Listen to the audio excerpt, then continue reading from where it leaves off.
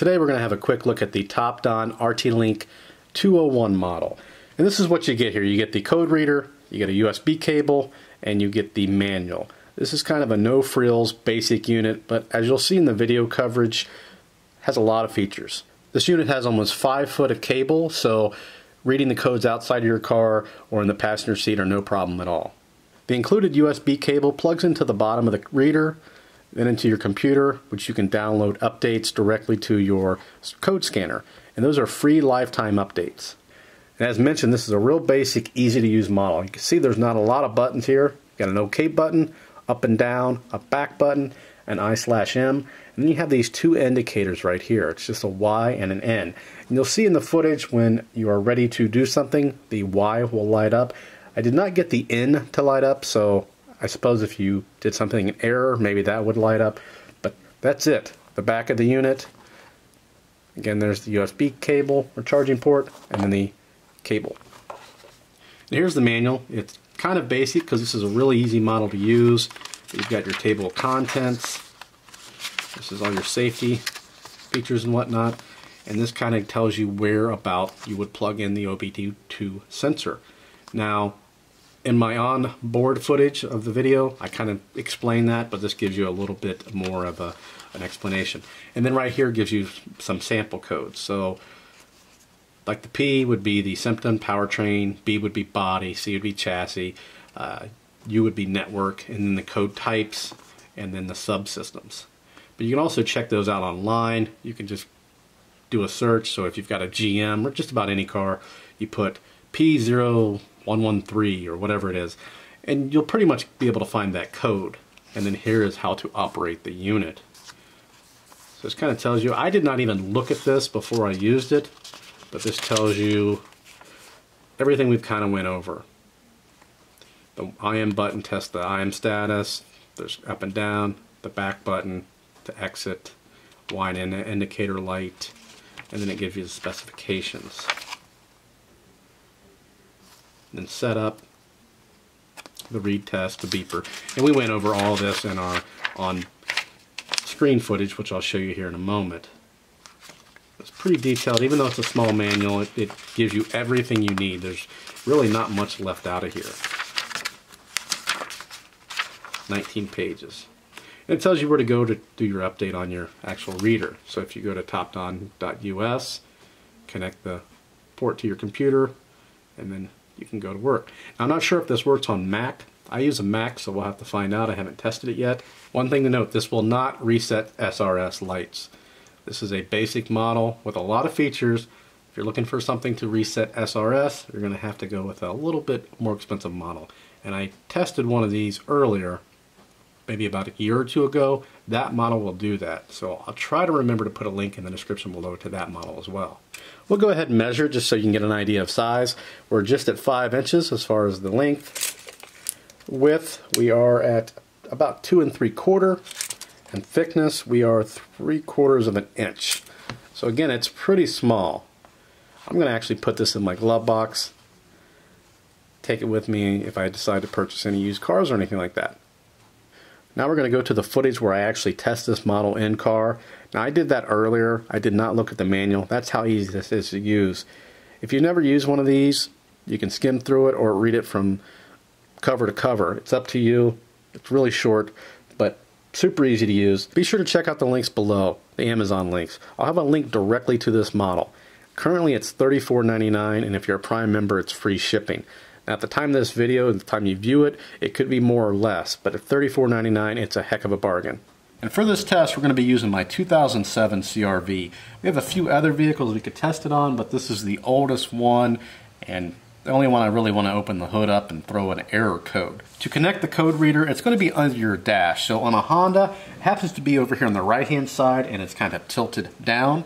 On a Dodge, it's going to be on the left, straight up.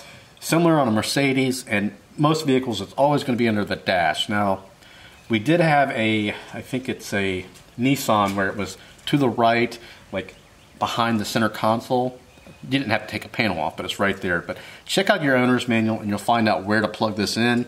If not, look online. It only goes in one way. Just plug this in, turn your vehicle into the on position without the engine running. Now you can run the engine if you want to read codes, but in order to erase those codes, you're going to have to turn it off. It's going to have to be ready to go, but not running.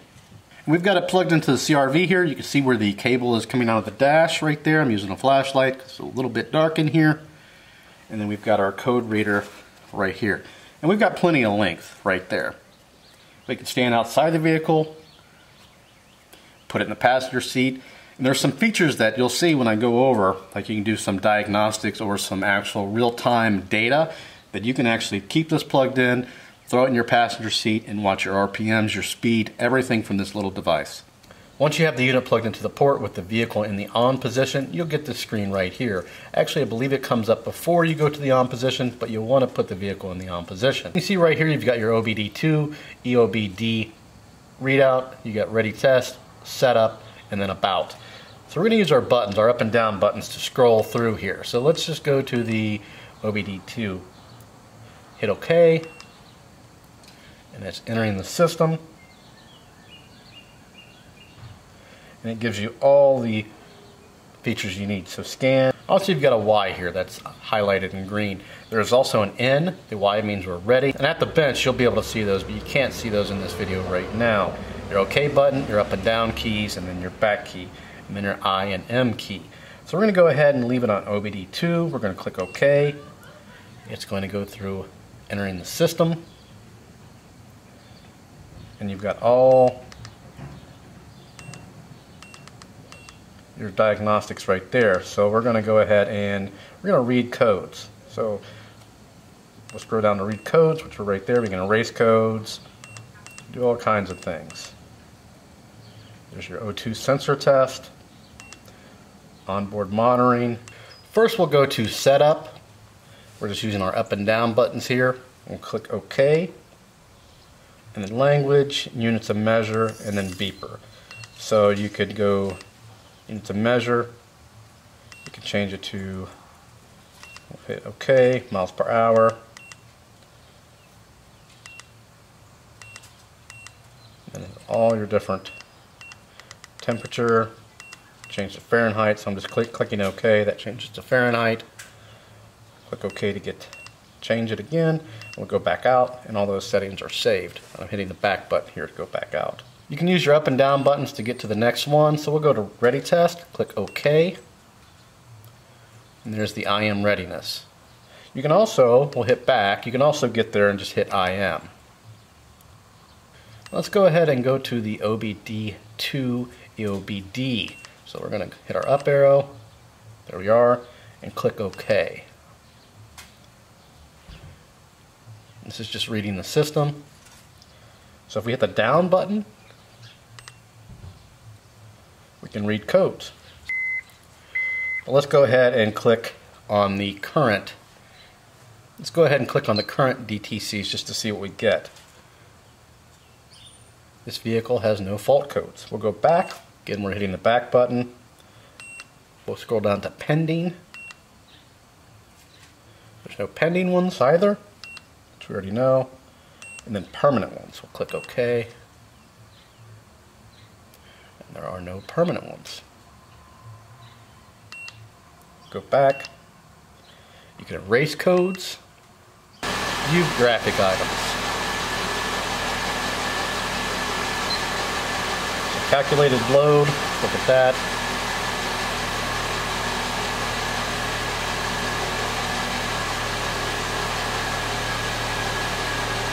Go back. Engine coolant temperature.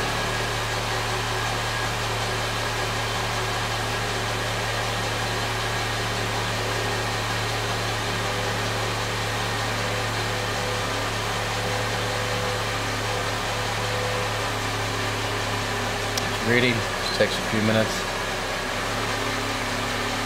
Let's go back. Short-term fuel bank.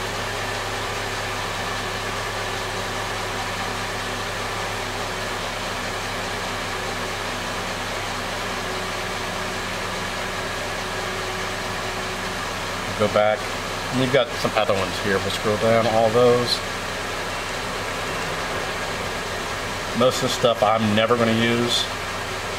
Engine RPM, let's go to that one.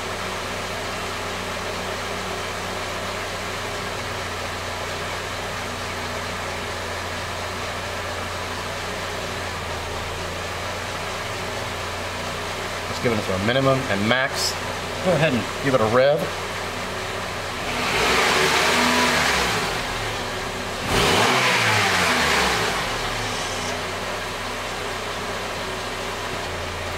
Go ahead and we'll go through all of those.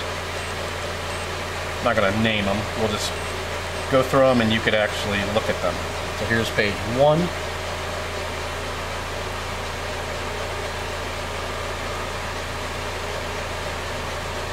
Page two. Oh, sorry, we gotta scroll down. Page two.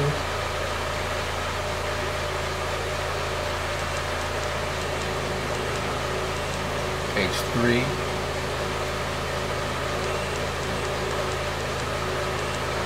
Page four.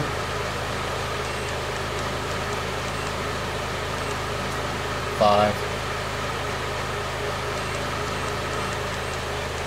Six.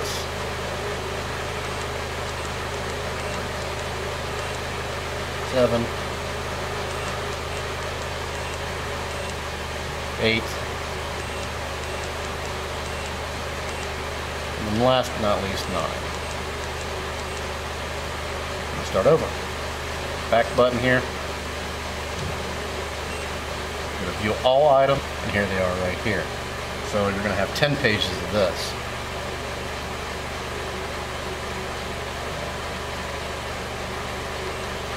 And this is while the vehicle's running. I'll hit the down button.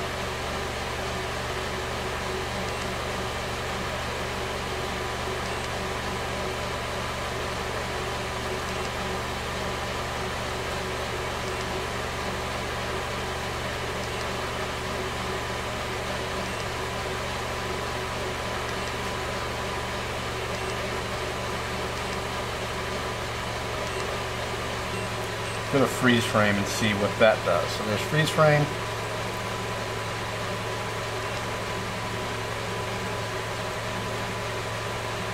So this vehicle doesn't have any freeze frame data. So this must be something you can store in the ECU, not sure. This is my first time using this. Really easy to use, by the way. And they all are, but this, uh, for the size, it's, it's really convenient. Just throw it in the glove box. And we're back, and we've thrown a simple code. Let's uh, start it up and read our codes. We're going to go up to read codes, click OK. Click OK here. Ooh, we've got a code. So intake air temperature. High. Go back. See if we have any pending codes, which we should. P0113. Let's go ahead and erase our code. Yes, we want to erase it. We've got the vehicle turned off in the on position. It's cleared. So let's go back again. Let's read. Now the vehicle's not on, but it is in the on position. You can see we're getting another code this time, P0102. And we still have the P0113 may have had that code before. I actually didn't hit the up and down. You got to hit the up and down to go through the codes if you have more than one. So let's go ahead and correct the error, fix the mass airflow on the car. I just unplugged it and then we'll go back and erase and then read the code. Let's read codes again. They're still there. Let's go ahead and erase these codes. Go back, erase codes.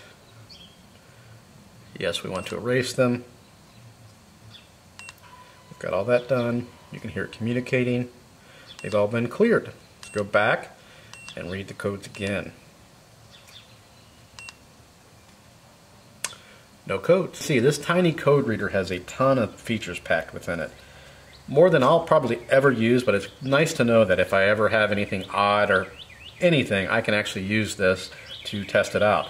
Mostly, I use them to check engine codes and fix a problem and then erase them. And that makes it really nice because this can go in my glove box. It's so small. I mean, my hand covers it up. It's smaller than my hand, way smaller. And I can put it in the glove box and always know it's right there. I can put it in my pocket. If I'm going to go buy a car, stick it in my pocket. The cabling is going to be bigger than the code reader itself, but plug it into a car and make sure there's no codes on it right there on the spot. Instead of lugging something around in a toolbox or anything like that, just keep this nice and handy. Uh, you put it in little bag, certainly, but it'll fit in your pocket all day long. Be sure to check out the links in the description. I'll have an Amazon affiliate link directly to this product. You can see it's got a great price, great reviews.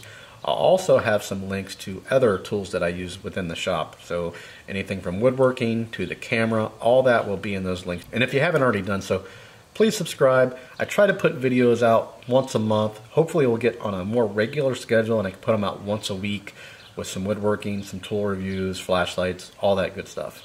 And as always, thanks for watching.